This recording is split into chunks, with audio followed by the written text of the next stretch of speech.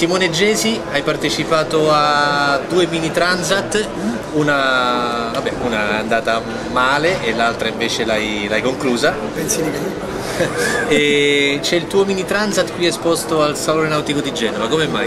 Beh, ti dispiace, dai, scherzo. Ti dispiace?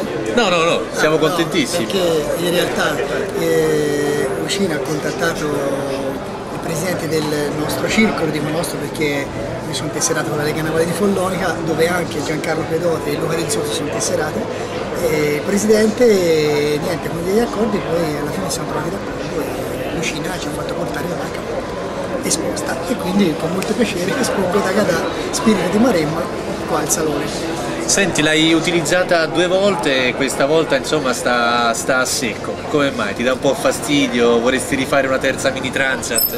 Beh, diciamo che non mi dà fastidio perché comunque anche se la prima transat è stata un ritiro, di fatto l'impostazione per farla e per finirla c'era stata. Purtroppo il ritiro in questo tipo di regali non dovrebbe metterlo in preventivo, però purtroppo c'è stato. Quindi non mi dispiace averne fatta due, non, averne fatte due, non mi dispiace che sia esposta qua a secco.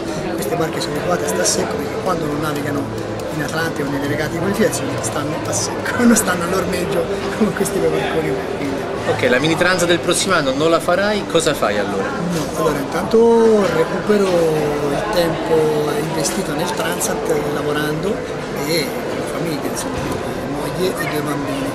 E, e poi vado a fare il tifo per i miei amici Giancarlo e Luca e quindi questo mi riempie di gioia e d'orgoglio e poi alla fine prendo, vado sulle banchine, andrò sulle banchine a Dormine a fare il tifo da tifoso molto particolare. Va bene, grazie.